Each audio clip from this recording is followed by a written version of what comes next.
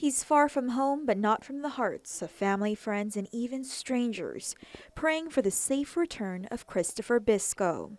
If you've scrolled through social media in the last day, his face may have made your newsfeed, specifically his missing poster asking the public's help in bringing the 22 year old back to his Las Vegas home where he lives with his father. Here on Island, Big Sister Regine Bisco Lee says social media is playing a vital role in obtaining any lead to his whereabouts. We've been having just an overwhelming amount of support from friends, family, and even people we don't even know just sharing this information and really trying to get the word out and, and trying to get my brother back home.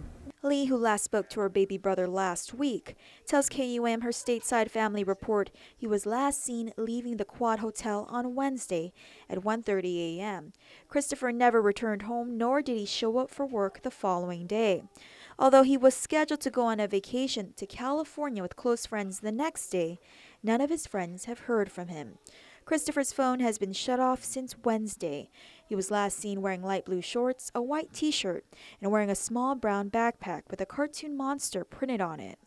Our family has reached out to Red Rock Search and Rescue out in Las Vegas. We're working with the banks and the detectives and the hotel where he last was seen, um, the bus route that he normally travels. We're just trying to get um, additional information to where, where he might be and just want to make sure that we bring him home safely. Earlier today, Lee posted on her Facebook that family are working off a strong lead and will need to verify this new information.